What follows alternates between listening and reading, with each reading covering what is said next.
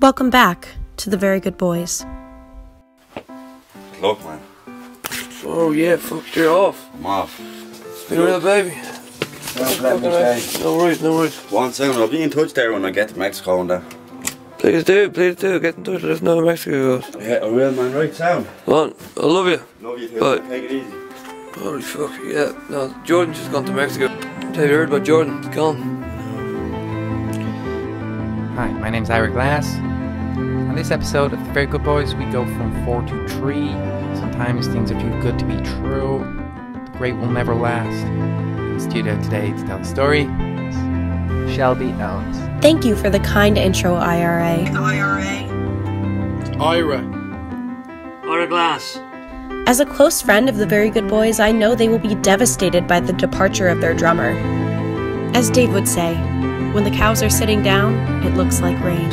We're cleaning the apartment for Kev because he's coming home later from Italy. And he doesn't know yet that Jordan's actually gone. 'Cause Jordan only got the news when Kev was away and we didn't want to tell him and ruin his holiday. I knew Jordan was gone. Only knew I knew Jordan was gone. Why are you...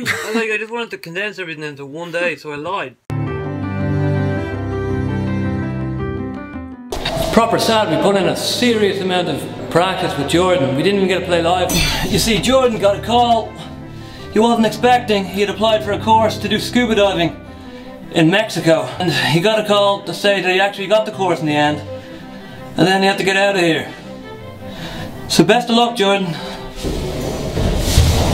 You know, it's a. I feel like the band were really doing their best work. We sounded good, we started making demos, got a splinter. Fuck. Then I can see that big, big, ooh, blood. And they are so goddamn cute, I could just eat every one of them up.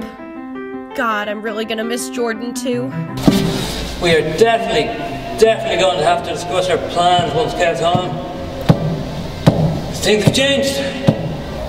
We'll break the news to Kev when he's home, and then we'll discuss our plans for the remainder of our time in Berlin. What I can tell you is, the Very Good Boys will always bounce back. They will always find a way. They are not called the single greatest rock and roll band of all time for nothing.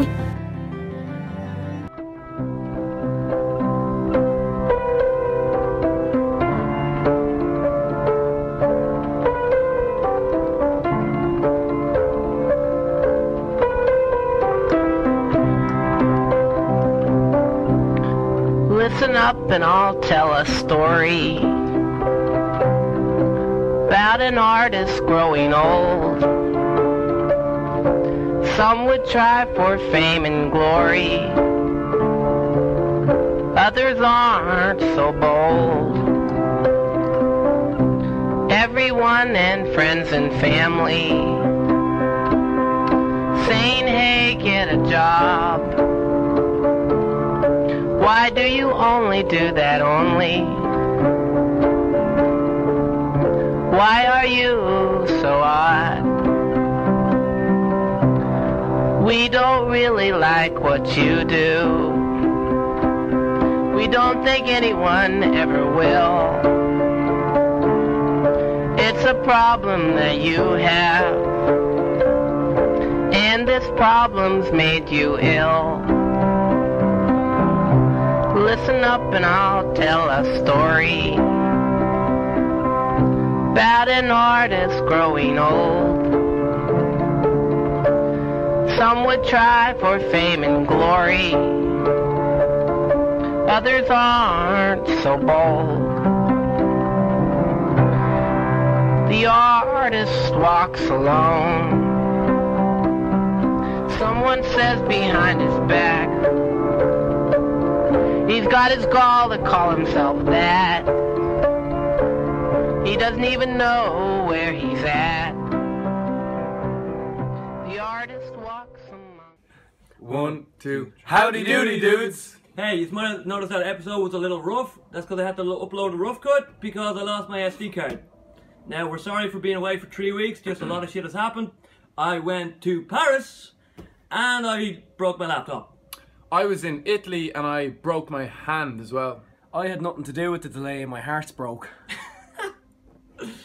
Um, and we have a Patreon, so if you want to see us more regularly, please go over to our Patreon. We, I'm sure we'll link below, or maybe somebody point up at the screen somewhere right there. there, there. And you can donate to us as much as you want, and maybe you'll see us more regularly, and we will get that album released. And you'll see us more regularly. More regularly. Right, let's have a look at that one.